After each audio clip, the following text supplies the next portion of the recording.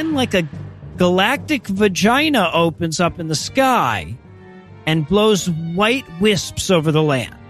Hey, guys, how do you want to depict the angel of death in our animated children's movie? I was thinking glow in the dark come Come, I was going to say come too. Could we, uh, like a, go- like if the ghost of all the cum could do all the murdering. We are really synced up today on ideas. I'm loving this. Put it in the movie for children.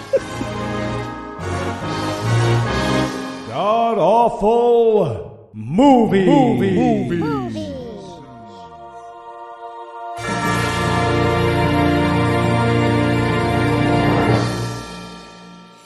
Welcome back to the Gamcast, where each week we sample another selection from Christian cinema because they won't stop making them. I'm your host, Noah Lugeons, and sitting 700 miles to my immediate left is my good friend Heath Enwright. Heath, welcome back. Let my people go. Let's do this. All right. Very excited. and sitting 900 miles to my northeast is my bad friend Eli Bosnick. Eli, how are you this fine afternoon, sir? I'm fantastic, Noah. Are you really? Our listener base has been explained to me. The last puzzle piece has fallen into place. I understand so much that I didn't understand before. All right. So to get us there, tell us, Heath, what will we Interesting. be breaking down today? We watched something that apparently Eli learned a lot from. I'm very interested to see how that works. We watched The Prince of Egypt. It's an animated movie for kids about genocide, like just that. Mhm. But but don't worry, it's a musical too, so it is tasteful. A tasteful infanticide film. And Eli, how bad was this movie? Well, if you can't believe the adult stuff they snuck into Disney movies of our childhood, just wait till you see what the fuck DreamWorks was up to. okay, let me explain. Okay, people have asked us to do this movie for years, and for years, I must admit, I ignored them. I was like, isn't that like a major animated movie? Like someone's going to be like, oh yeah, and then Moses does it. Like, I'm not, I'm not interested. In. I watched this movie agog. Yeah. A Agog. One of my last notes about this movie is I would like to apologize to every listener I ever thought was a weirdo. You watched this movie as a kid, you turned out fine. Yeah. No, I am fucking, after watching this, I am flabbergasted by how many people wrote to us to say, oh, good luck finding any fault with that cinematic masterpiece. I think you guys have bit off more than you can chew. Uh, uh, apparently, a large contingent of our audience either A, actually likes this movie, or I, and I think far more likely, B, haven't seen it for decades and have a Heath with Boondocks Saints type relationship going on. That makes sense. I feel like that's probably it.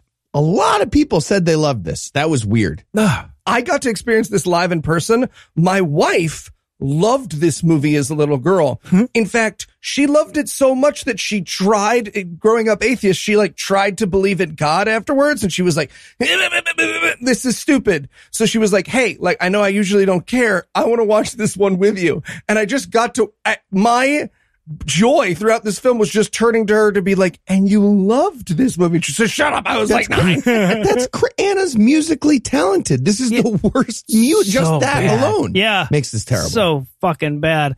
All right, so is there anything you guys want to nominate it for being the best at being the worst at? yeah, I'm gonna go with a worst worst actually. Worst worst animation of ethnicity, Okay. Ooh.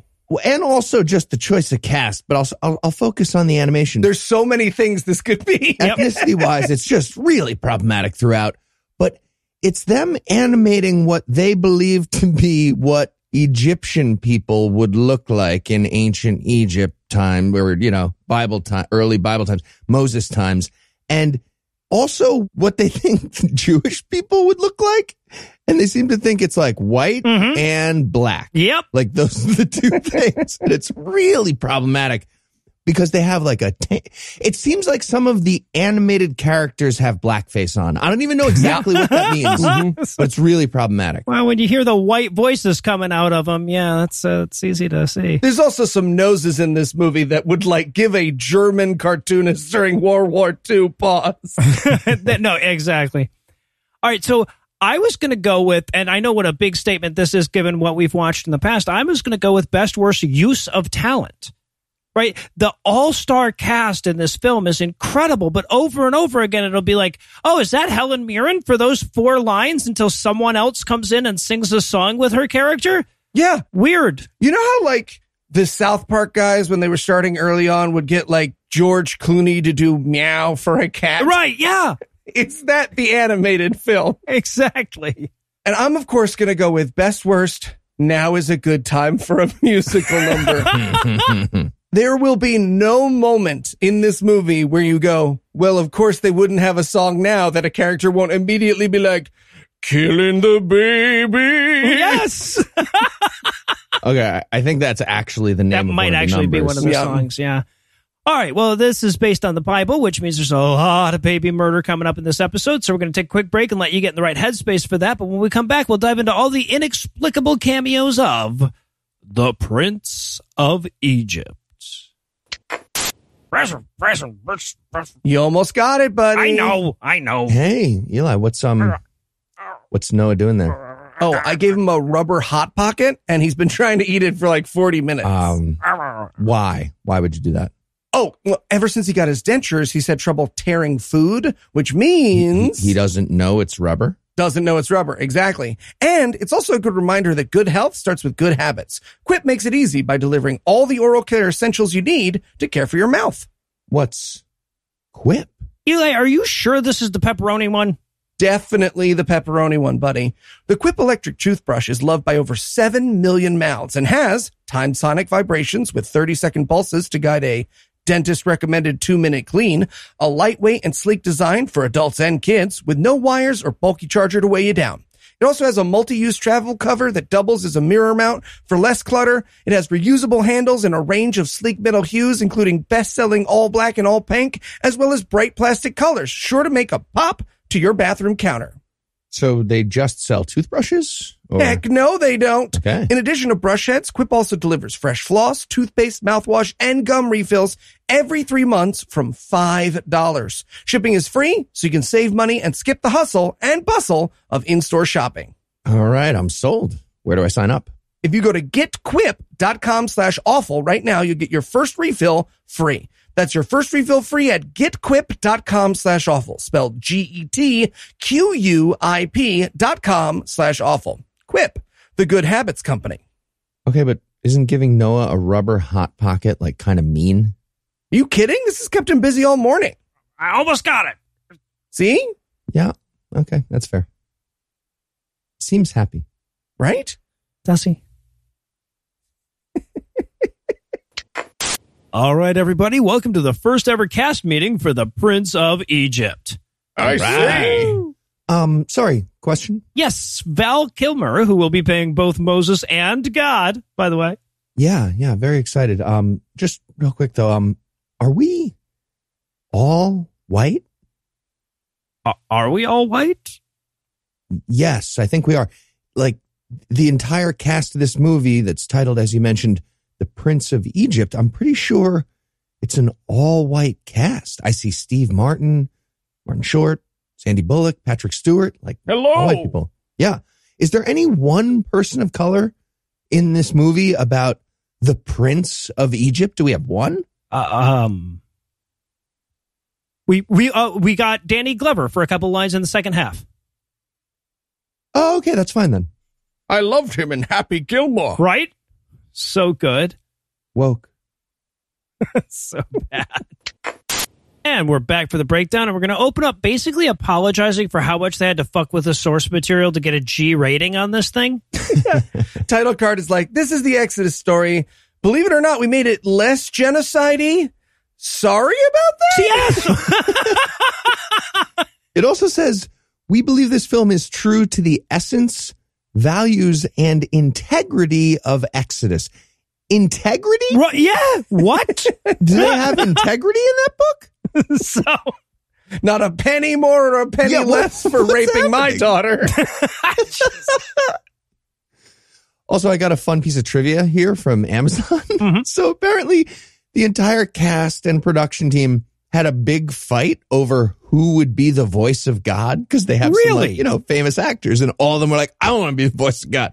So they got into this big fight, and they eventually landed on having everyone do it and like alternate back and forth and rotate through and whisper all the God lines so that they could sort of make them sound similar. And eventually they realized that's fucking dumb. and they had Val Kilmer do it. Right. Yeah. So he's the one, but you can hear the whispers at certain moments. But Val Kilmer is also Moses, Yep. right? So when he's talking to God, it becomes a fucking Bible piece theater sketch. Yeah. It's the only character who shouldn't have done the God voice. They yes, right. That absolutely couldn't do the God voice. Yeah. to be fair though, if it had been Patrick Stewart, it would have been weirder because it would have been like, wait, the Pharaoh is God? But yeah. At one point, Moses and God are harmonizing in a song. Val Kilmer's doing some kind of like throat singing move to make it all. oh, Jesus. Val Kilmer's drinking a big glass of water while the scene's going on. Huh? huh? No, it's wine. All right, so yeah, so we we start in on some ahistorical enslaved Jews in Egypt building pyramids with the hopes of embarrassing historically impaired Republicans later, I guess. Yeah, there's lots of whipping in this children's movie, like right away. we open on whipping, yeah. And there's a song. This is a song, the first inappropriate moment for a song where they're basically singing like, "Yo God, this was not the fucking deal, man." Whip it real good. Yeah. I also need to point out, like, we could talk this entire review for how bad this music is. Everything in this movie feels like something Sondheim gave up on halfway through the shower. Yes. Right? Like, um, but, uh, but, uh, but, nah, that's bullshit. I'll- I'm just gonna, I had it down as Disney B-side stuff. yeah, for sure. All right. So th- then we we we resolve this into Moses's mom secreting away baby Moses, right? Because the Pharaoh is out to kill all the Jewish babies. Right. And we're seeing the whipping and the child murder in the background in the second scene of this children's movie. Yep. We go straight from whipping to baby murder. Yeah. Mhm. It's quick. It's quick. Yeah. And mom has a song for that too, by the way. Yes. yes. She's like, hey, kids, there's a lot, we're slaves. There's a lot of murdery shit going. This sucks here. I have a song though. Yeah. She sings that information to them. Well, and what's weird is that like she's sneaking around while she's singing it, and I'm just like, shut up, though. They can hear you. They're right behind you. I wanted the kids to be like, hey, mom, can you just talk it instead of, like, it's hard to catch lyrics in a song sometimes. I feel like we need this information. Will you sing it when we get home? okay. And this never occurred to me until literally watching this movie, but putting your baby in a basket in a river is just killing your baby with extra steps. yes. Right. What did she think was going to happen? The baby was going to be a pirate? I wanted one of the other kids to object to this too. Be like, hey, can we get in a fucking basket and escape slavery too? Yeah. No, just Moses for some reason. Go fuck yourself. Right. That's what happens. So yeah, so she she puts Moses in his little basket, sends him down the river. He has just a comical, like Rube Goldbergian series of adventures in the basket. Yeah, I wanted so bad when they first launch it. It's like a huge deal. I wanted the basket to get like stuck in a reed on the side and just be like sitting there. oh, we gotta push it. Immediately gets picked up by an Egyptian. Ah, there, there's this great moment where it's like he floats underneath a bunch of monkeys, and we realize how close we came to a religion where Moses was raised by the monkeys. Yes. Such a That's better an religion. excellent story. So much They cool. diverted right here. You had a shot. Even the lice plague makes sense. Yeah. Yeah. Could have been a good musical. And then there's like crocodiles and hippos trying to chomp him. At this point, I wrote in my notes, honestly, a baby in a basket has to be the crocodile version of like an eel avocado roll, right? Like, you gotta be super psyched for that.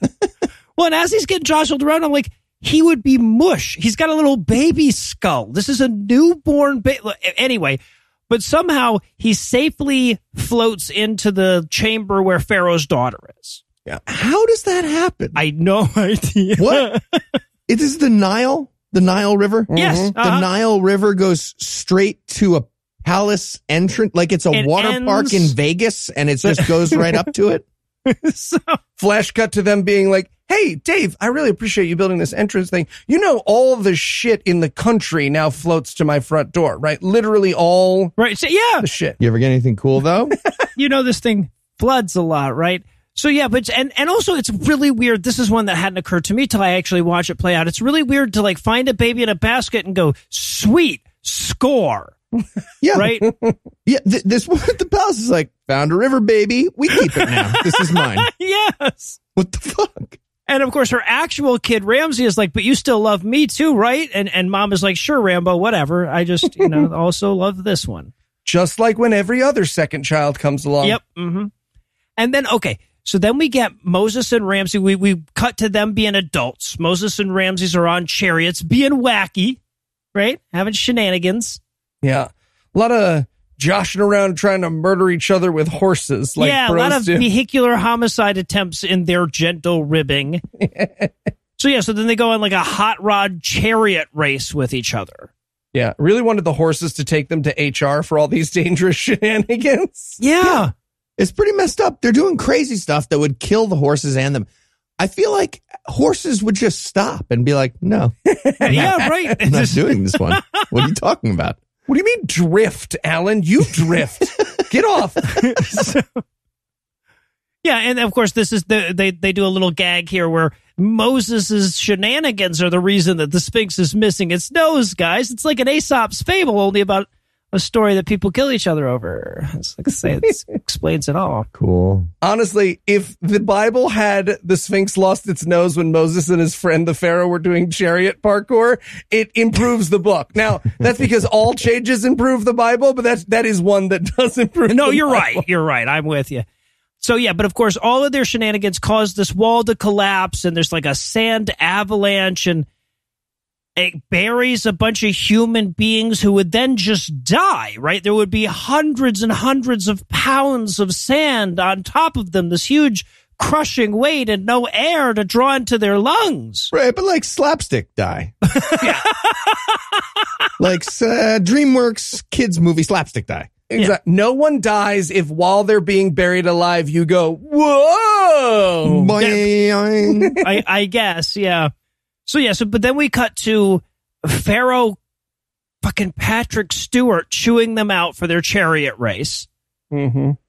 And we all just sit there and go, like, that's an awful black character for that white actor to be playing. This, all of our notes throughout the movie are like, another white actor. We are running out of time, DreamWorks. all I was thinking about here because it's it's the the dad, the pharaoh, scolding them for like you know fucking up the nose of the Sphinx. All I could think of was like, yeah, I'd be in so much trouble if a very small sculpture got slightly chipped by me. Yeah. my dad would be oh, yeah, so much worse than the pharaoh right now. absolutely. But Ramses is all pissed because he got chewed out because Moses got him in trouble. So he wanders off, and we get like Moses doing the whole, you want a soda? You know, we, did, we get that in the next scene. Are you mad? Yeah. Ramses, Ramses, Ramses, don't do that. and as Ramses is saying, well, you know, the problem, Moses, is that you always get me in trouble by doing pointless shenanigans. Moses is doing some kind of wine based prank shenanigans where he dumps stuff on people. okay, but it's not even like a prank. He's just, he's like listening to his friend be like, I don't know. I feel like you're really sabotaging. He's just like, one second, I got to pour this shit on people. yes. Okay. He, he he fills up a, a bag with the wine from their thing of wine, right? And then he Mhm. drops it down. Mm. I didn't do this with wine because you know why waste wine? But like giant garbage bag that you fill with water and then drop from multiple stories onto somebody Oh, yeah, down yeah. below it is a really fun game. It's fun for everybody. Yeah, no, everybody enjoys that on uh, on all ends. The person who gets hit goes from completely dry to completely wet in zero seconds, and it's Yeah. crazy. Yep. Interesting. And your claim is that everybody enjoys having Everyone that happen involved. Everyone drunk at college enjoys this. Yes. Okay. So, and and of course, the the victims of his wine prank are Pharaoh's yes men. This is Hotep and Huy, or Steve Martin and Martin Short. Okay. Can I just take an aside to talk about these characters for a second? It's very clear that they were meant to be the comic relief, and then they accidentally never wrote a single moment of comedy for these No! two characters. No, you have these two brilliant comic actors and you give them absolutely nothing to do ever. They even have a song later together and there are no jokes in it. Yep. Insane. Yeah. So, but of course, the, so they do their wine dump thing, and then Moses and Ramses is like, "Oh, I'm going to get serious, and I'm not going to get in trouble anymore." And uh, Moses is like, "Oh, should I not mention then that we're late for the banquet?" And then they have to run to the banquet. Really wanted like a a Back to the Future esque beginning montage of him like skateboarding across a bunch of slaves. We basically just got that with chariots, Eli. yeah, we did. Yeah, to be fair. Yeah. So okay, so they get to the banquet and they're late and they're in trouble, but Steve Martin and Martin Short have a sex slave gift for Ramses. A sex slave comedy beat, my friend. Yep, that's what we got going on here. They're like, "Oh, don't you have a gift for our son?" And he's like, "Sure do." Pulls aside this sheet, and it's like a kidnapped lady on a camel. Okay, I feel like they were hedging it there, right? Like th- the guys were like, "Congratulations on being whatever prince of something. We got you a lady sex slave or camel, whichever you lean toward." You Just tell now, Prince. me what you want to have sex with. Both. Yeah. So, but yeah, but so this is Zipporah, right? Who will eventually be Moses' wife. We're only going to do the one wife in this one. And she's fighting back and they're really playing it for laughs, right? They're really sure this is a yuck fest. Yeah. Well, it's the classic. It's the feminist sex slave resisting the whole thing. That's that's fun. It's funny. Woof. Fuck. This is a kids movie. Yeah. Yeah. And then, of course, Moses subdues her by hilariously dropping her in water. And then she, as she wanders off, he's like, Well, I'm just kind of smitten with that sex slave now. Yep. So that's their that this is their meet cute in this film. Yep. Yeah. This is I literally wrote, I literally wrote in my notes, the movie thinks that's a meat cute. So yeah, okay. And so yeah, and so of course all the palace guards are like, "Oh, Moses seems to like her. Take her to Moses's room." Right?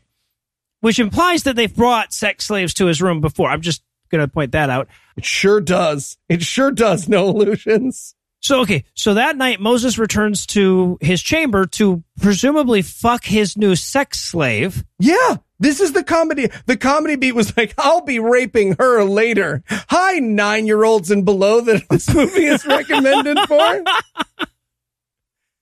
So yeah, so he gets to his bedchamber, but she isn't there. She has escaped and left her guard tied up as a feminine, sexy silhouette on his bed. Seems like a lot of effort when he's just going to pull back the curtain anyway. right, yeah, exactly. A good reveal and everything, but you're not even there to see it. What did they gain in that five seconds while he was walking to the curtain to see? yeah, Yeah. not clear. Also, another thing that's unclear is that she's she's tied this guy up with about 87 feet of rope. He had a couple of dogs. She's tied them up with rope as well, and then she tied bed sheets together to climb out the window. I'm like, you had so much rope. Shit. All right. Well, I, I really origamied this guy up to make him look like a sexy lady. It'd feel weird to just like, oh, I'm to undo it and take your wrist. So yeah, but but then she sneaks out, and Moses sees her sneaking away and actually helps her by distracting the guards. Right, Cause he's a good guy. a good sex slave owner. Yeah. Whew. So she she sneaks away, and he runs after her. Right, because he's a good stalker. He's a happy stalker, I guess. Yeah. But as he's doing so, he accidentally runs into his own brother and sister, all grown up. This is Miriam and Aaron, played by Sandra Bullock and Jeff Goldblum. Yeah. And this is just such an, it. well, first of all, we have to talk about how offensive the Jewish noses they've put on these cartoons is. These are some long and wide noses they've put on these cartoons, my friends.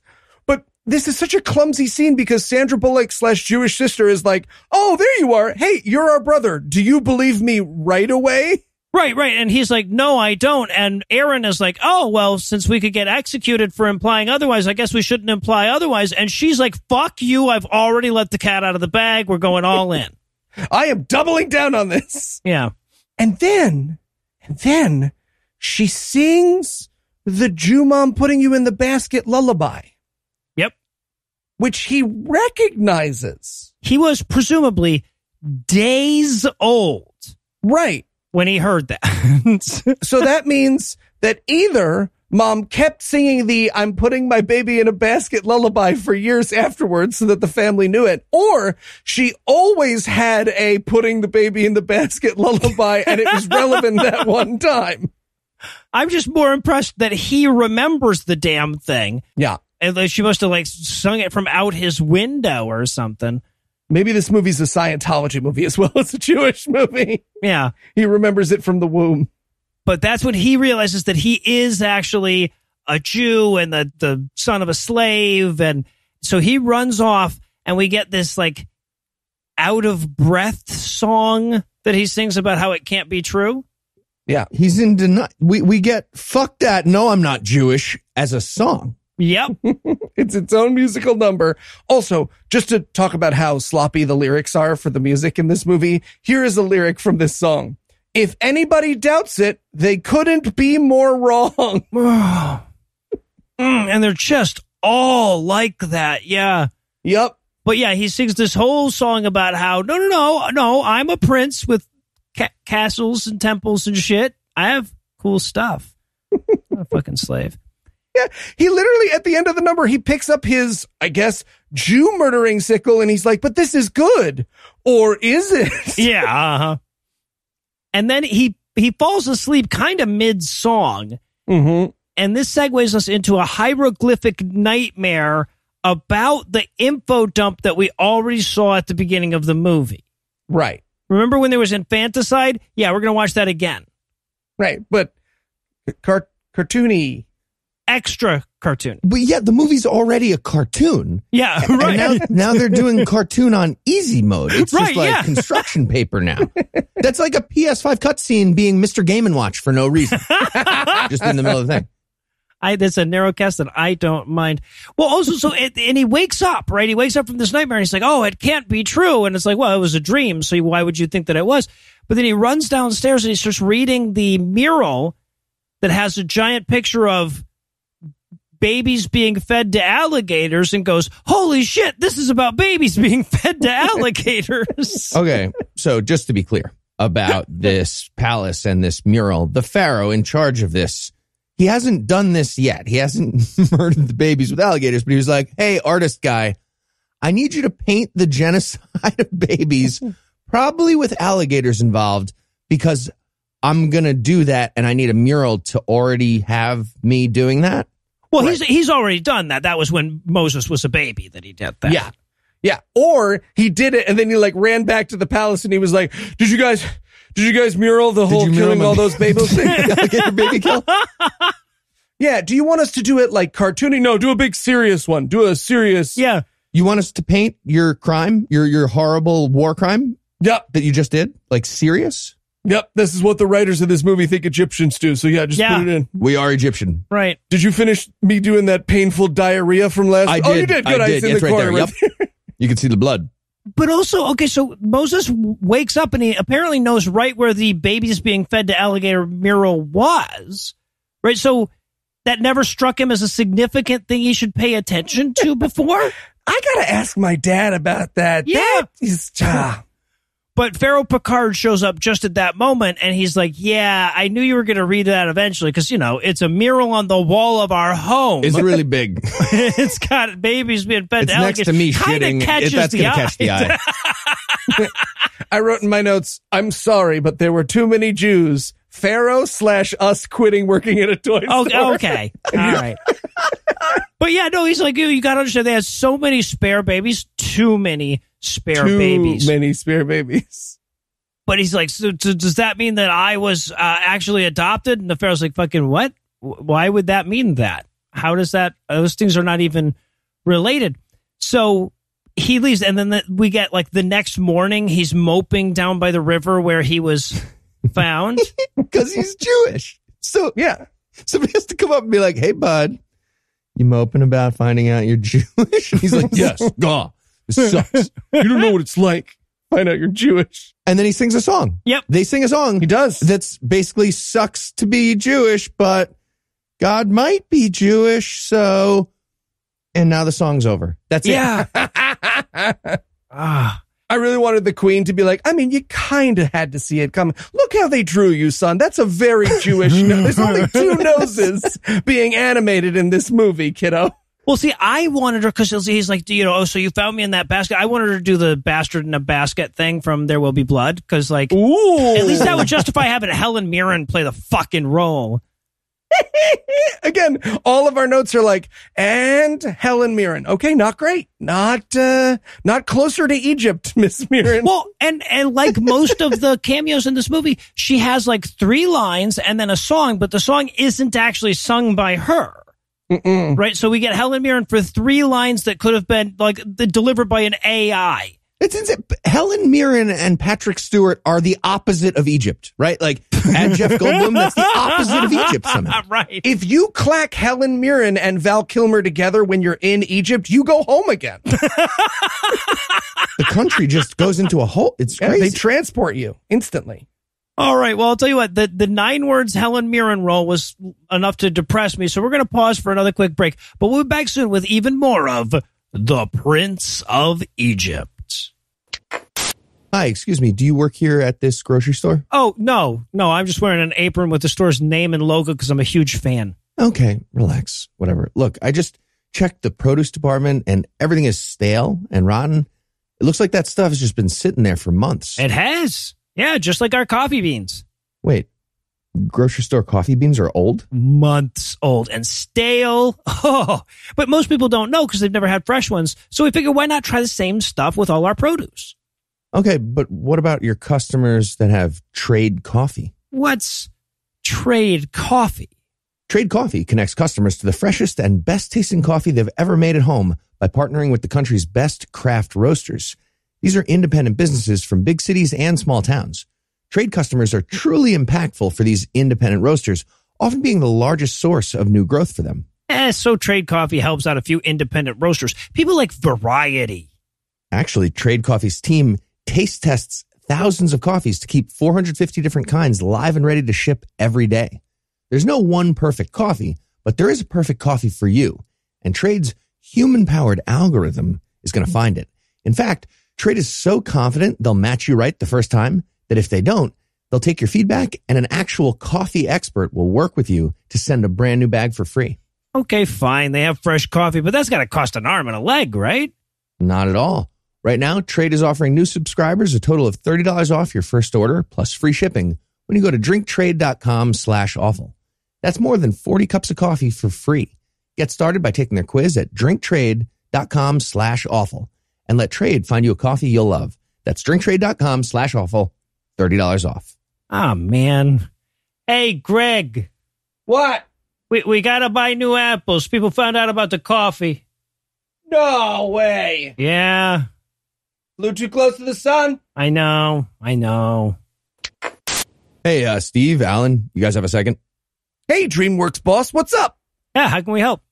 Well, first of all, I just want to say how much I appreciate the fast turnaround you guys did on this script for the Prince of Egypt. That was good stuff. Oh, no problem. Yeah, it was always a pleasure Yeah, to do. For sure. Uh, there's just one like teeny tiny note that I have. Oh, yeah, hit us. Okay. Uh, so you feel like there's like a lot of murder in this children's animated film? Well, there's a lot of murder in the story. Right. Yeah. Yeah. no, obviously. But but you guys have made some pretty huge changes in the story, like as it is. Seems like you could cut, I don't know, some of the murder. Like, do we need two separate baby murdering montages? Okay, well, one of them is a flashback. Mhm. Sure, sure. Uh, but but I think people get it the first time, right? Like they get the message of that. We don't have to see it again. I feel like we have to see it again. He's super cool. Okay. All right. Well, what about the time Moses murders the guy? We can cut that, right? Mm, that's in the Bible. Sure. Yeah, but it doesn't affect the story. We could just not do that part. I really feel like we need that scene. Yeah, it's a no go from me. We need that scene. fine, fine.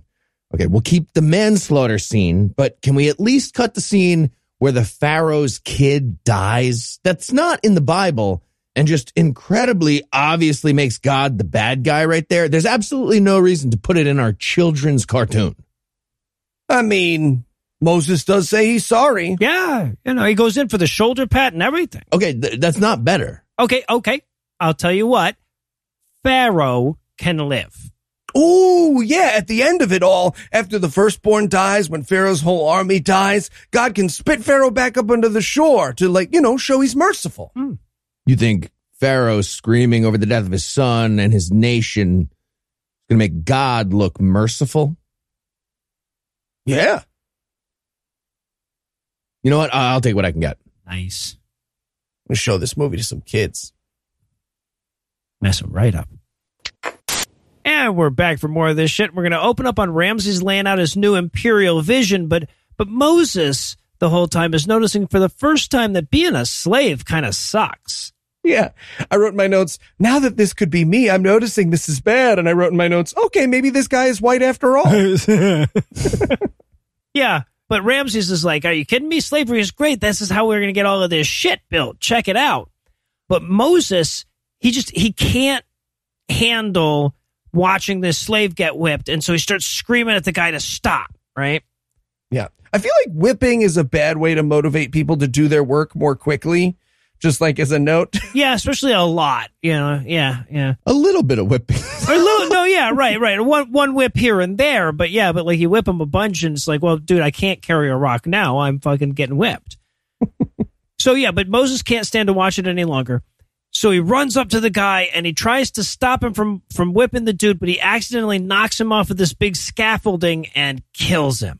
Yeah, it feels like that could have just been a prince saying, "Stop! I'm the prince. Stop that." Yeah, it it felt unnecessary. Like the, a physical altercation probably did not need to happen. Also, based on their pranks so far, I find it really hard to believe that they haven't already murdered someone. This this dramatic moment doesn't fly for me. I, I wrote the exact same thing. I was like, that's way fewer people than they killed with those chariot shenanigans at the beginning. But yeah, so Moses runs away. He's like, "Oh no, I've murdered a man." And Ramses chases him down. He's like, "Oh come on, one little murder." I mean, what a weird. I just need to point out that's not in the Bible. What a weird thing to add to your children's movie. Like, not to do, do something. Sometimes you murder people. Come on.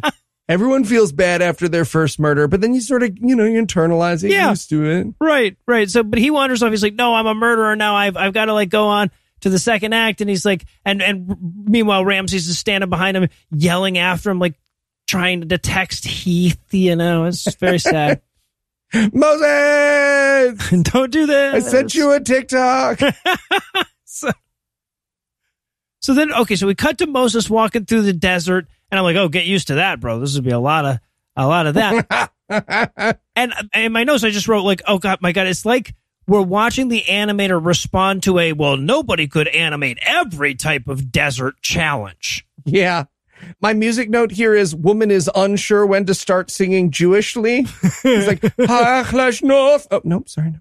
no, okay. You do you tell me? Will you point? Will you do like a sign? yeah, but he's he's giving up, and he's like he, he allows the sandstorm to take him, and but he he also doesn't die. Like apparently in this movie's universe, people can just breathe sand. Yeah, there's a lot of sand breathing in this film. Yeah but he gets he passes out or whatever and gets drugged to this watering hole by a camel. Oh my! It's the sloppiest plotting, right? He's like he passes out. He is instantly hoisted by the hair, mm-hmm. like by a camel, and then he grabs the camel, which immediately, like literally bodily takes him to a watering hole so he can be fine. Yep. fucking camel ex machina. You might as well like unscrew the cap on the camel's hump and start drinking water out of it like James Bond with a tire. No, you need a little straw like a Capri Sun. It's, it's, there's a little. It's it's hard to stabs through. Oh, this is the worst. this is the. Oh. So yeah, but then of course this is the part where he sees the brigands that are messing with the girls trying to get water, and he chases them off with his well, in this movie with shenanigans again, because that's really his whole shtick. He's got shenanigans. That's all he brings to the table. Yeah, it's just so sloppily plotted, right? Because the point of this scene is to get him back with the sex slave lady that he let go. Zipporah, yeah. Uh-huh. Right? So they were like, okay, what if he buries himself in the desert? Then the camel brings him to a watering hole. And while he's at that watering hole, he sees her younger cousins being bullied and engages. Like, she, maybe she's just at the watering hole. We don't need 97 extra steps. That's how the Bible works. Yeah. Well, she's also not a sex slave beforehand in the Bible either, because, you know, they didn't really develop characters, especially female ones back then. But yeah, uh-huh. and then he gets knocked. He falls into the well, and then they have to get him out of the well. And then Zipporah realizes it's him, so she sends him back down the well like a Persian diplomat or something. this is Judea. or it will be anyway. Yeah, but so then we cut immediately from that to him in a tent being forcibly bathed by elderly women. Yes. Okay. I don't feel like that happens in the Bible either. No. So this movie thinks that in Egyptian Jewish culture of this time, random nomads in the desert get a pornographic sponge bath from a team of old women in the village. a team. A squad. And they're fast, too. They're Oh, like yeah. the fucking people when you pull over in It's a like a race pit car. stop. Yeah. Right, yeah, Thank you.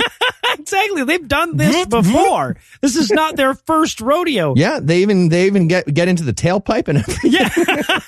well, They okay. do. All right. Yeah. Because he goes, ladies, you've already cleaned every inch of it. Whoop. Oh, maybe not. That's that's a finger in his asshole, right? Like that's the joke we just made, right? At the very least, it's a knuckle to the perineum. or in the pee hole. Ooh. Interesting. I'm a pee hole guy. Okay. All right. You know, Gross. What? to Each his own. You're you're fired. I don't know what's happening. I just start to go with the joke. Who Noah? so yeah. So then Give me one sec. I'm buying Heath is a peeholeguy.com. You guys go ahead and Yeah, no, that's okay. for a That's little okay. bit.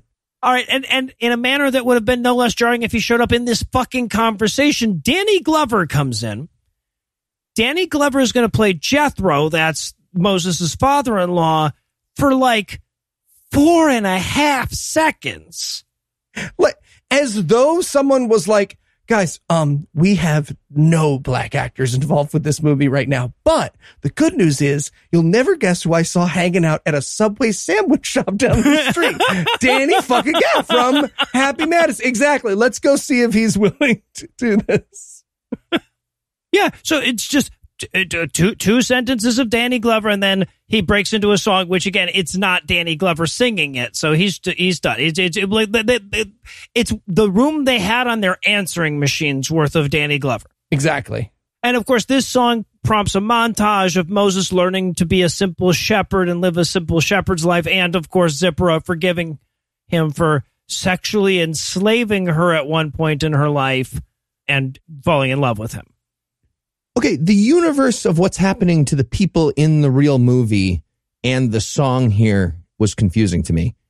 They're like in Egypt, they're trying to like build their tent city, but you know, they're nomads, so they're setting up the tents for the night. Mm-hmm. and then they're singing and the song lasts through that night into the next morning and then into the next night and then long enough for i think moses and zipporah to get married Yeah, but that's just like at this point, that's just a negotiation with Danny Glover, right? It's just like, hey, man, I see you've got like five of these daughters. Um, Yeah, and they they kind of indicate that they have this weird moment where we see their shadows arguing with Danny Glover in a tent as though they're negotiating a price.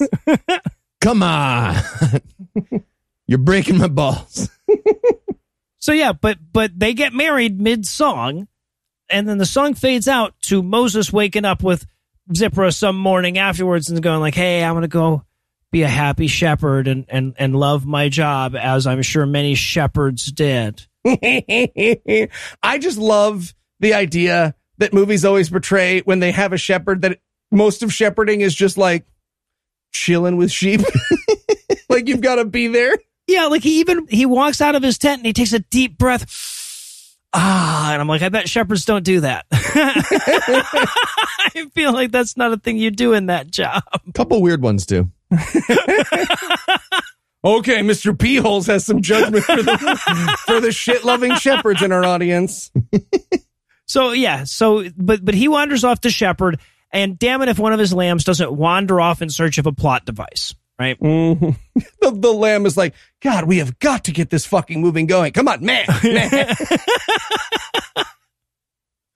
So yeah, so he follows the sheep into a, a mysterious cave with some kind of burning bush that isn't being consumed by the flames. There's nothing this movie does worse slash more hesitantly than very important imagery from the Bible. They're just like, I don't know, probably like a like an avatar thing, like right? purple, like purple glowy. Yeah, he he like he puts his his shepherd's crook into the fire, and he's like, "Huh, that didn't catch on fire." And I'm like, "Well, what if it did, dude? Then you wouldn't have a crook, you dumbass." yeah also this is like a big deal character in all of judaism and christianity right he's like a prophet moses He walked into a cave that had smoke coming out of it and he was like, I'm going to check this out. That's what he's done right now. Well, and also he finds a fire and he's like, I wonder if this consumes wood.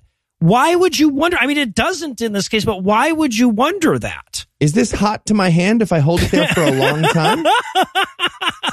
no. Good. It's good it wasn't. I feel like God was having major doubts in that moment, right? He's like, "Oh man, I'm about to give this guy." Is he touching Is the he fire okay? to see if it's hot? Fuck! Ah. I should have done the sheep. I should have done the sheep. So yeah, so God whispers to Moses and tells him to take off his fucking shoes. Let me see them feet. God. Yeah. By the way, I did add Moses to wikifeet.com just Oh, to nice, nice. keep everything even. Excellent. Um, we'll see if it gets through approval. They've got a strict team of perverts there. Also weird how God reveals himself here. He doesn't say like, "Hey, I'm doing a God." He's just like, "Hey, hey, guy who went into the smoky cave and is hurting his hand right now. This pretty sweet burning bush, right?"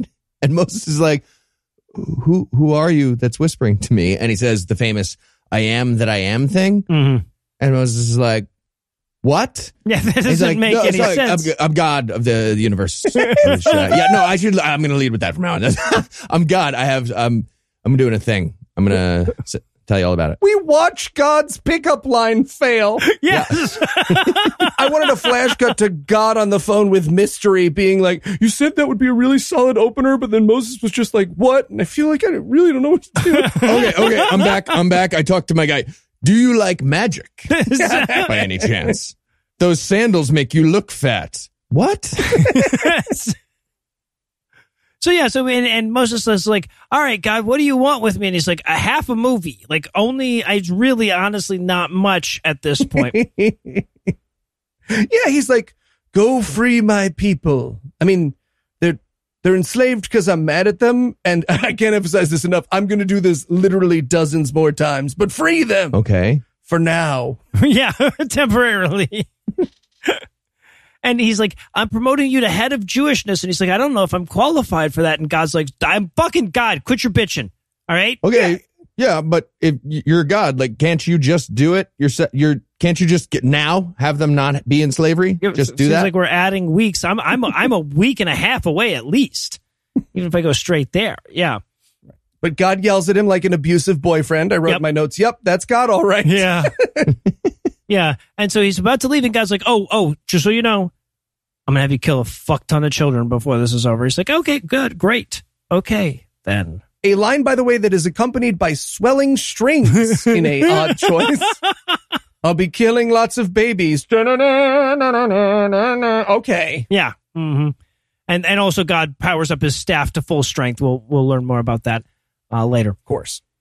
So okay, so he leaves the cave, and he, by the way, he has the stray sheep. I love that he was able to keep his head in the game enough to be like, oh, and- and a sheep, and a holy mission, and I still have a sheep out.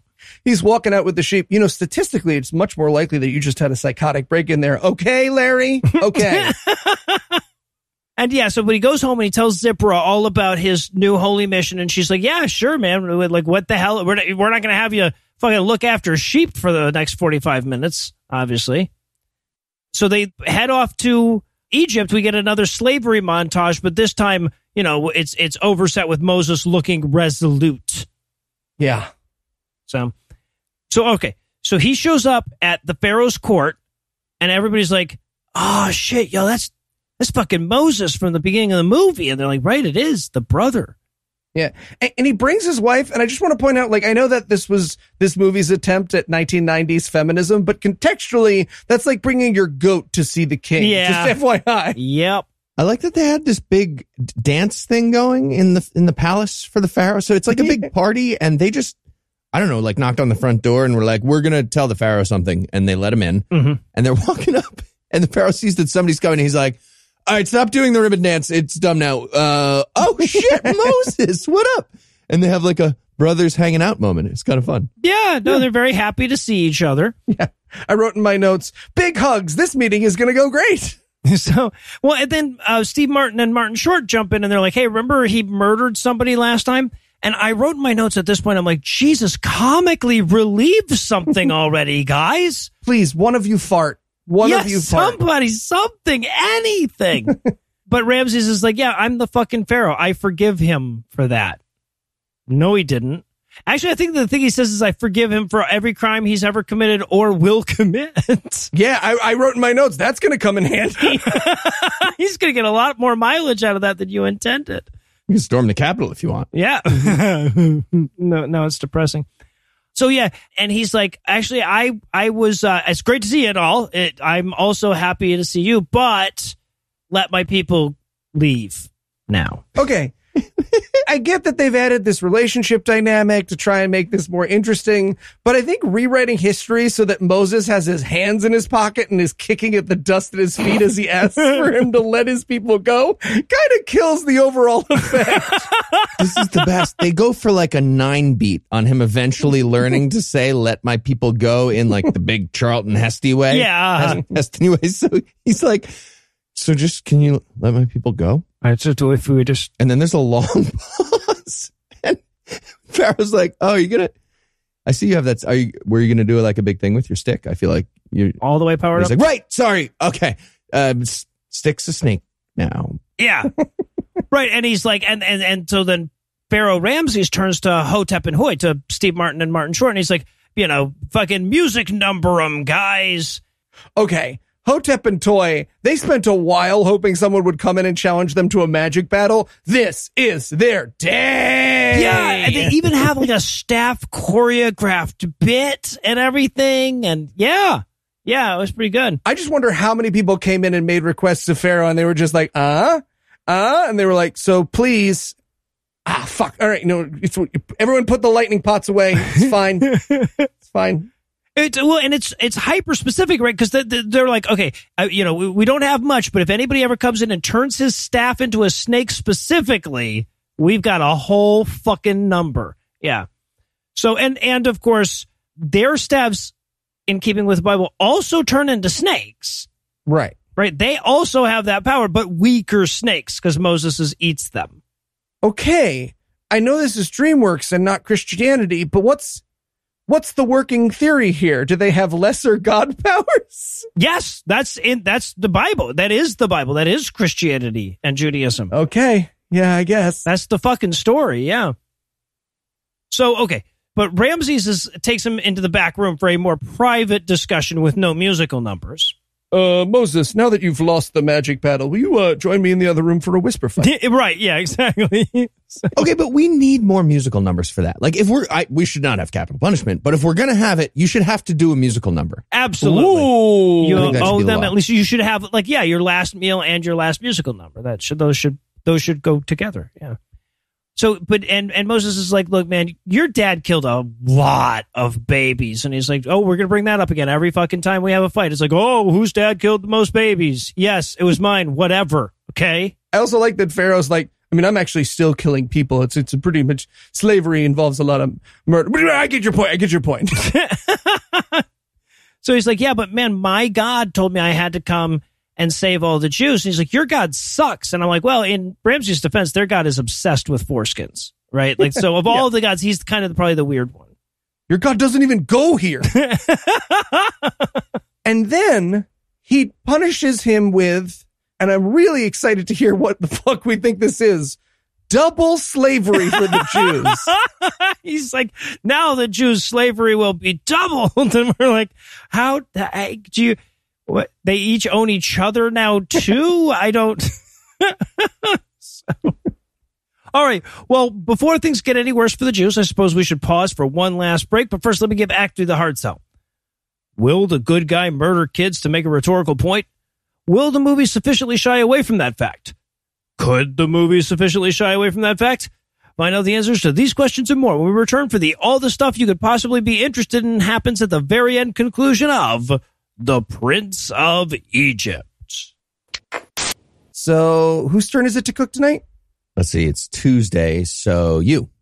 Oh, right. Nice. So what are you making? Right. Um, I'm gonna. I don't. Where am I?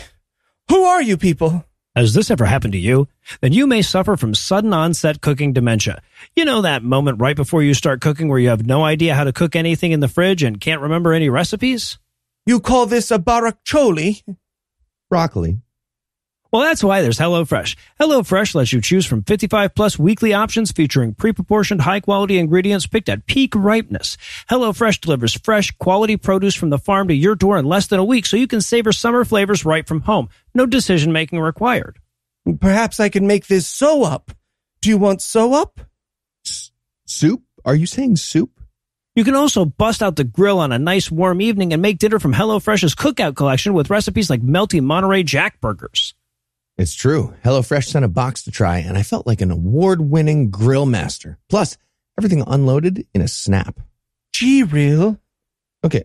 Okay, that time you, you heard me say the word correctly. Go to HelloFresh.com slash awful16 and use the code awful16 for up to 16 free meals and three free gifts. One more time, that's HelloFresh.com slash awful16 and use code awful16 for up to 16 free meals and three free gifts. HelloFresh, America's number one meal kit. All right, dinner's ready. That is a Christmas ornament.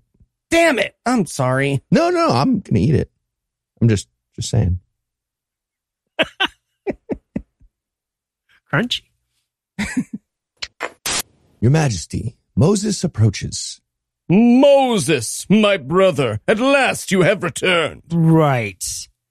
About that. Moses, I see your mind is troubled, but hear me when I say you have nothing to fear here.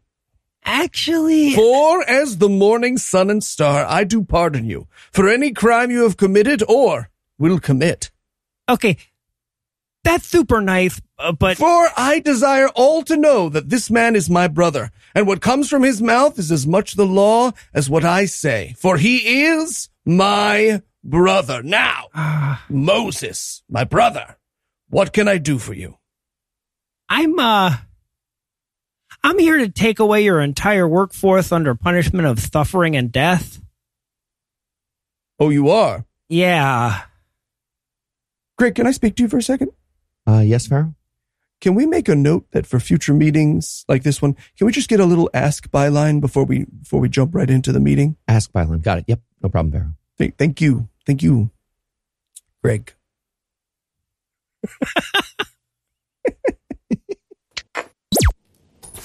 And we're back for still more of this shit. When we last left our hero, he was telling Pharaoh to let his people go, and we're going to rejoin him shamefacedly leaving while Jewish slaves throw mud at him for being so ineffective in so doing. Yeah, I get it. I once told people you couldn't convert to a culture, and I, I so I, I'm me and Moses, same bag.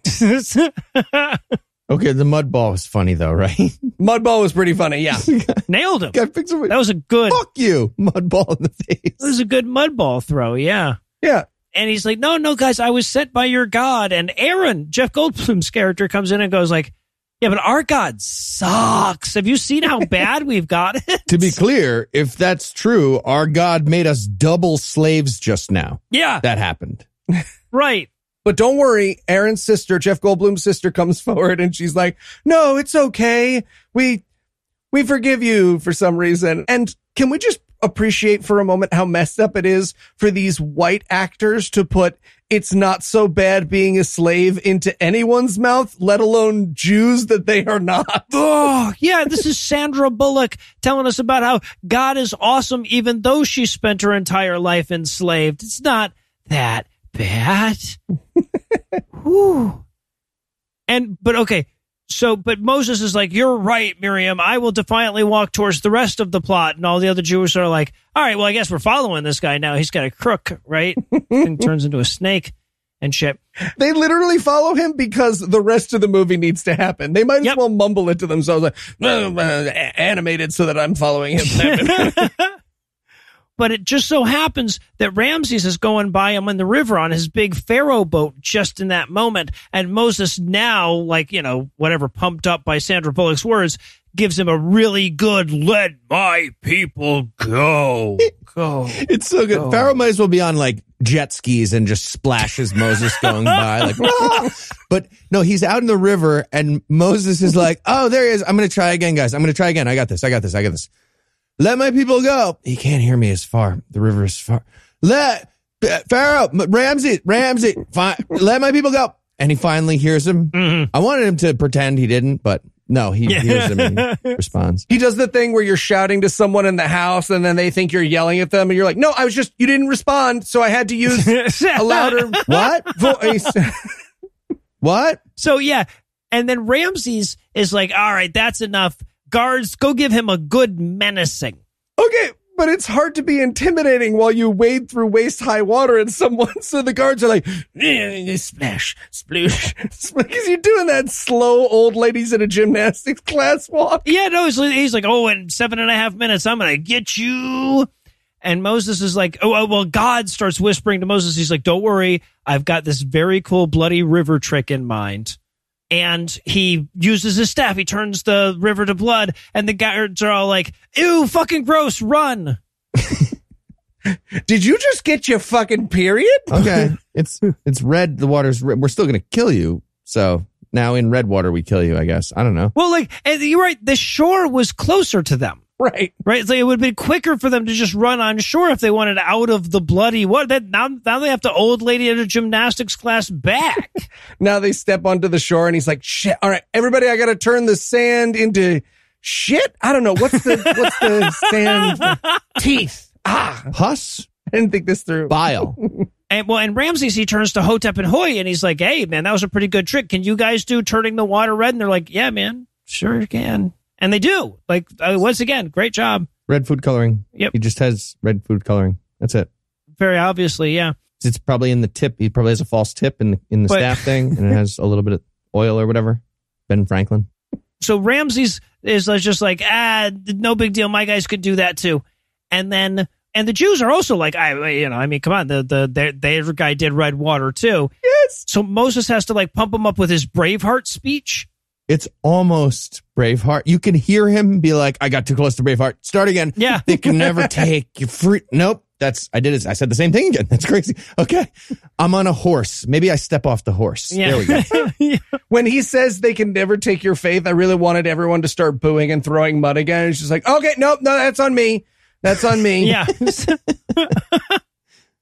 so okay, so then we cut to a quick plague montage, Mm-hmm. right? And I just want to point out that I literally only knew this song because it's a popular TikTok sound. And I was like, oh, yeah, it's from TikTok. so yeah well it, and again one of those things that doesn't really occur to you necessarily until you see it animated but like fuck ton of frogs is a weird plague right that's just a mm. weird it's like unpleasant i guess but frogs are i kind mean of pleasant though. it could be kind of pleasant yeah yeah frogs are kind of cool Yeah. What are frogs gonna do Also, the plagues contain too many insects to animate for children. So there's far too many things in this montage of being like, bugs. Oh no. And I have different bugs. They're flying. There are yeah uh, so other oh kinds the of bugs. itchy bugs and non-itchy bugs this is all a musical number, to be yes clear. A right plague it turns into a song musical number. Don't rain sulfur on my parade. So yeah, and it's uh, once again, it's the music is so fucking boring. Like it never rises to the level of tune. No.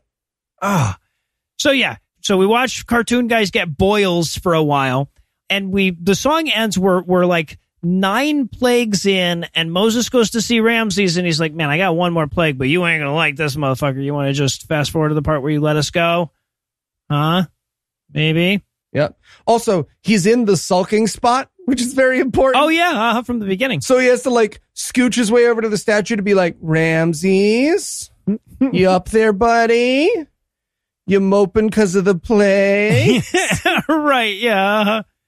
And I just, it occurs to me at this point just how much we have to fast forward through those plagues, but so as not to make Moses into the bad guy, right? And they still fail. No, they they fail, but yeah, the more we linger on that, the harder their job gets. But the movie, in order to distract us from that, wants to have the like. Do you remember those good old times in Act One that we had together? Kind of a moment here. It's such a weird, well, such a weird tonal choice. Again, you didn't have to make up this relationship and you didn't have to triple down on it in your last act, right? Like these mortal enemies from one of the oldest stories in historical fiction. And it's just like, Okay, but those pranks we pulled, am I right? Ah, noogie hijinks, right? So fun. Right. And then Ramses Jr., the little kid, has to come in and be like, what the fuck? That guy killed tons of innocent people with plagues just now. Stop Yeah, being nice. What are you doing, doing? that? Right. He murdered a guy before that? It's boils and shit. Well, and also, so they play it from this point on like Moses was a fucking abolitionist, right? And he's like, but slavery is wrong. I'm like, no, no, no. He just doesn't want his people to be slaves. His own book that he's going to supposedly write will have rules about how hard you're allowed to hit slaves. Yeah. Right? So, but yeah, but in, in this movie's mind, he's fucking Abraham Lincoln going up against Douglas here. Yeah. They also they do this thing where they have Pharaoh be like, "Oh, well, you know what? Now I'm going to kill all the Jews." And like, I get it. You had to explain the kid killing thing for your children's animated movie, but the best they could come up with for lying was, "Well, we had to kill their kids before they could kill our Yes. kids." Yes. I don't think the Pharaoh was planning on having the children carry out the children killing. I'm going to kill your babies. No, We I'm gotta- killing your babies first. That's a with- weird setup. with I don't our think that's what happens. babies. yes, right. Okay, but the big mural's dumb if we don't. I'm doing that because we have the mural. And then, yeah, right. So he's like, all right, man, 10th plague, you're bringing it on yourself. And so that he goes back and he, he has to tell everybody about the whole lamb's blood on your door bit. Mm-hmm. I just want to point out that most of my notes for the rest of the movie are, y'all watched this as kids. Are you sure? Are you sure you watched this as kids? Okay, the lamb's Ah. blood thing. God says to tell everyone to put lamb's blood on their front door so that he won't murder any of the Jewish babies by accident when he plagues the firstborn of Egypt. People, right? Yes. That that's not the that's not a good like. There's a lot of moving parts in that plan. It's not going to work out, right? There's somebody out there that doesn't have a lamb. Yeah. Also, I feel like the Egyptians that know that they've gotten, you know, they're nine plagues in now, they're, they're going to see all the Jews put lamb's blood on their door and they're going to go, you know what? Better safe than sorry here.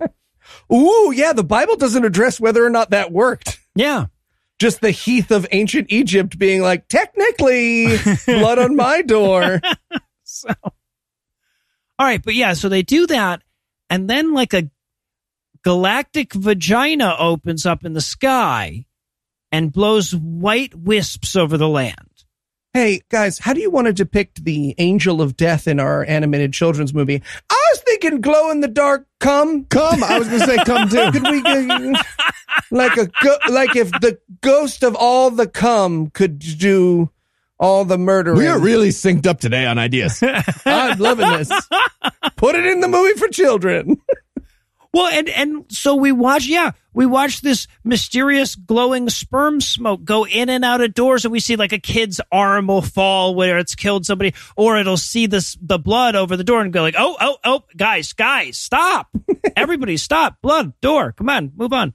we watch the death gas like go to it goes to their door and is like, all right, I'm I'm magical god death gas. I better check if that's lamb blood specifically. Do I lick it? It's lamb blood. It's lamb I've got no tongue, I've got no nose, I'm just smoky sperm. Holds up a picture of lamb blood, puts it back into its splooge. Okay, no, no, So, no, no, no, you're okay. okay. Give this one a pass. Also, uh, uh, look, I know there's it's too late to rewrite this movie, but I do want to point out that the firstborn children could also be adults. right? You didn't have to have Yes. a baby dying montage. Yes. Or why not just kill all the ch- like why why just the first? Why not the second ones too? I don't understand. So also like okay, this is the movie's what third infanticide scene?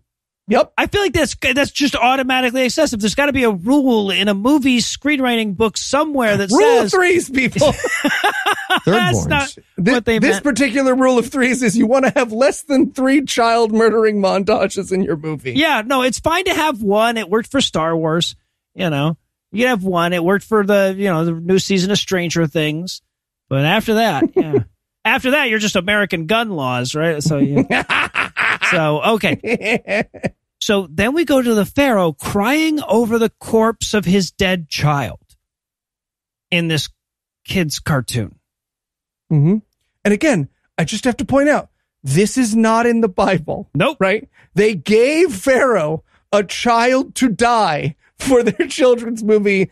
We, I can only assume in hopes of making their side look as bad as possible. Like we talk about the secret atheist in the writer's room. This is like the secret Satanist in the writer's room. Right. So he's got the kid in his little death shroud and everything. Moses shows up. He's like, okay, this is admittedly a rough moment for an I told you so. Um, but I, but I so I did like the last scene we shared together. I told you this was going to happen. He's like, yeah, you, you did. Sh- shoulder pat? No. he, tries to, he tries to do it. Do you want to get ice cream shoulder pat to the Pharaoh as he mourns his dead child? Yeah. Right. But of course, Pharaoh's like, but you guys can go because, you know, what are we going to do? We're going to have 11 fucking plagues. That'd just be silly. Nobody, nobody's buying that shit. So he lets the Jews go. Uh, Moses goes back and, and, and Zipporah's like, great job. I, you killed an awful lot of kids, but you did it well. You did it in Yeah. a good way. Zipporah has to re like readjust her tone. She's like, "Hey, good job, kill." Oh, you're sad. You're sad. No, good job killing the dead babies. But you know, Do you have like a medium song for this that's like the positives and the negatives and you weigh them? Yeah. Something like that? And they do. Yes, she does. Miriam had a fucking murdered child song at the ready. Yes. Yep. Mm-hmm. Liberating slaves versus genocide of a bunch of children. Wait it.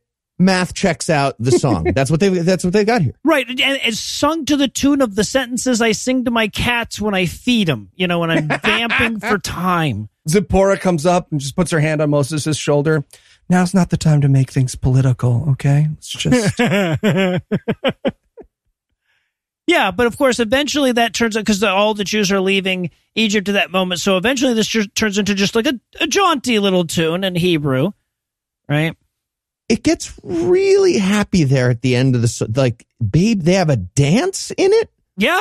in the baby genocide song. There's a baby genocide dance. Yeah. And also, like, you got to figure, like, they've got a dance in them because they were like overworked, whipped slaves yesterday. I feel like you give them a couple of days before you ask them to do a dance number, no? right. Anyway, so okay, but the song fades away, and now they're in front of the sea, and they're like, okay, I guess we live in front of this sea now. Everybody break out the fucking another dance number. Is anybody gonna pot this? No. Because if no one pots this, this is a weird thing for us to have done. Yeah, We are, as we're about to learn, about six feet away from Egypt. I can make it all blood. Is that helpful? So- yeah, because just then, that just as they're like, ah, well, that's a big ass lake. Ramses and his army show up on the horizon, yeah. and they're like, oh fuck, Why did we sing that song and do the Yeah. whole? We should have just left right away. Oh man.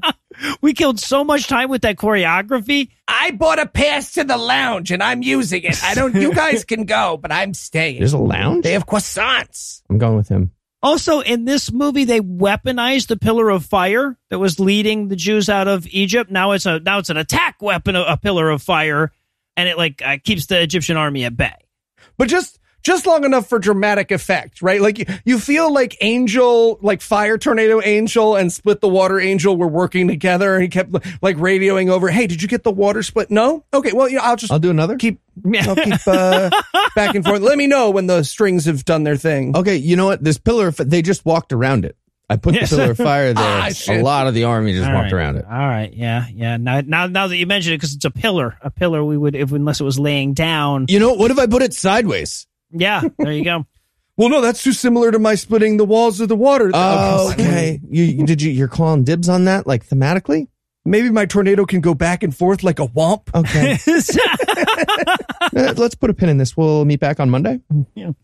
So okay, and then we see where ninety percent of this movie's animation budget went, right? Because by the standards of 1998, this parting of the sea moment is pretty incredible. Yeah, and also by the standards of this movie, this movie has some janky ass fucking looking animation. It's very clear that they like went down to the Disney offices and they were like, "Greg, do you want to draw just like nine pictures for us?" But yeah, so Moses is like, all right, pillar of fire, it can't last for long. They're going to figure out walk around it soon. So I'll part this sea. And he parts the sea, and it's fucking awesome, right? yeah. Okay, I did enjoy the like giant whale swimming Yes. up next to the the gap in between. I wanted the whale just like swim into the gap and crush a bunch of people.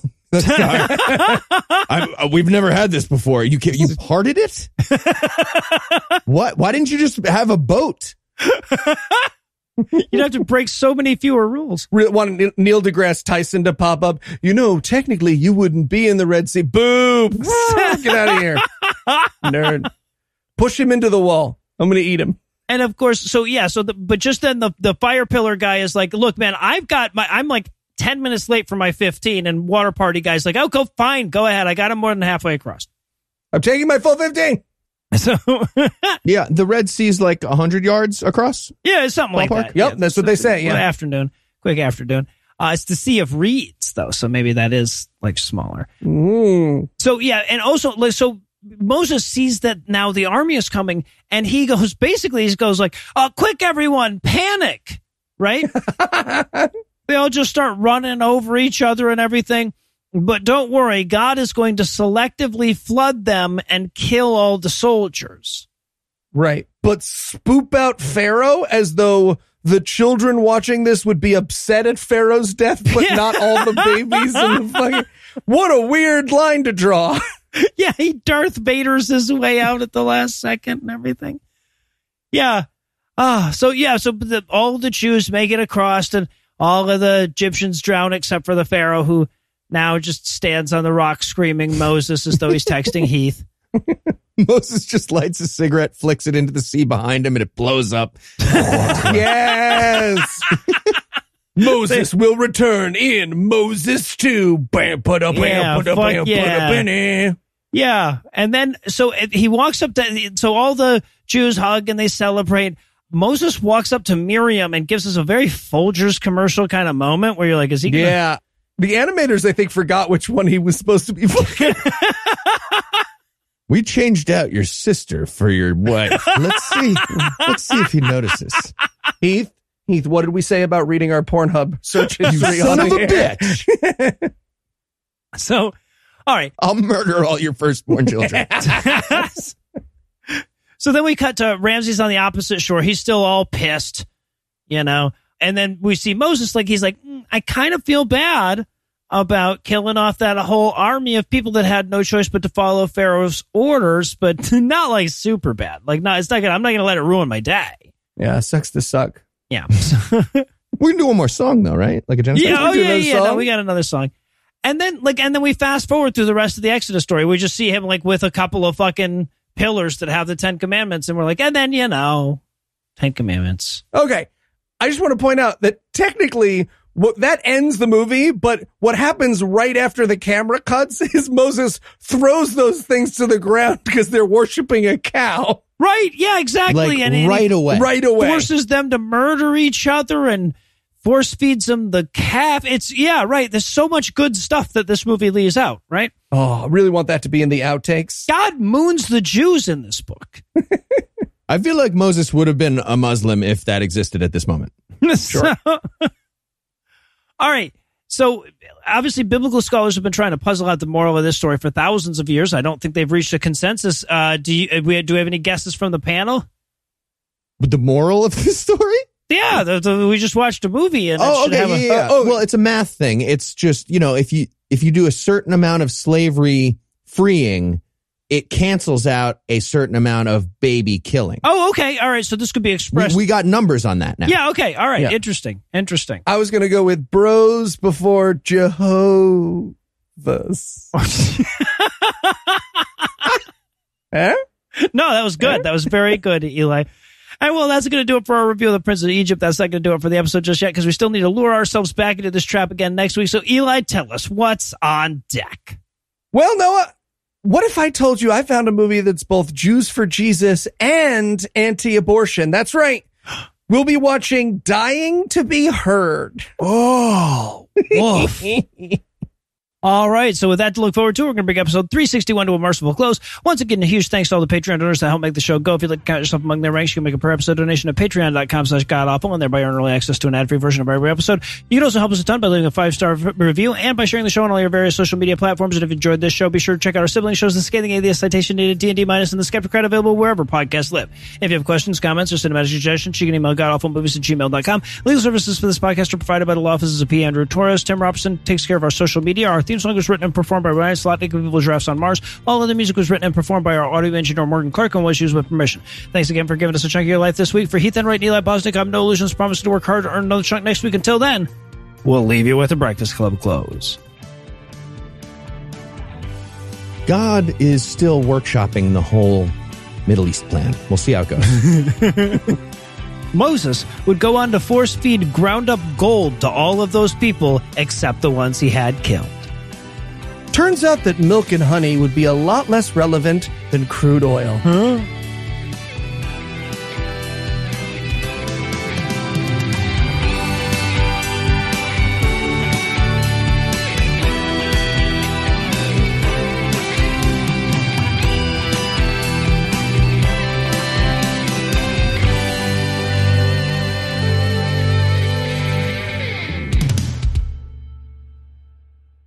You call this a baracholi? Broccoli. Well, that's why there's Hello Fresh. Hello Fresh lets you choose. I hit the mouse and scrolled away my page, and I was like, "Oh, I don't know what do I say there." it was the simplest line, obviously. All right, Yes. I'll give you baracholi again. okay. I was waiting for Eli to start the uh, the Zencast record. I, it didn't take me that long to remember which number came. He forgot which number came first. He told he that when the record was off, he was crying and begging us to tell him, but we wouldn't. Yeah. So he Googled it. He Googled what number comes first. Wait, now I want to Google that. I want to add that to the algorithm. Which number comes? I'm gonna? Bing integers. Oh, comes first. There's it. It, auto completes. Which number comes next? It does tell you. Okay, yeah. There you go. Cardinal and ordinal numbers chart. I have this new magic trick where um, I can secretly enter a word into my phone, and my phone sends it to a little pocket printer and prints out a photo of whatever I entered. Right, Oh, which is nice. pretty cool because I can then sneak that into an envelope and be like, "A banana, you say," and then I open it. Except what I have learned recently is that it doesn't have a safe surf function. Oh no! So if, for instance, someone says banana, you better fucking peek at that because it's going to be a girl deep throating a banana. Now, luckily, I was with friends and people who were ch- chill, but the moment of doing that in front of a client would have been real bad. and you see, here I have a sex crime. I have nothing. I'm a bad magician. Bye. Don't hire me anymore. Here's a high five. Anyways, a, a happy bat mitzvah, little girl. yeah. Half a banana. This is actually an important. It's an important skill. Get off me! It's an important skill. Don't worry, you won't be doing that. so. You are Jewish. It's true. The preceding podcast was a production of Puzzle in a Thunderstorm LLC. Copyright 2022. All rights reserved. We want students to know that if they go to Kent State, they have the world a la carte as an opportunity for them to develop a true global perspective.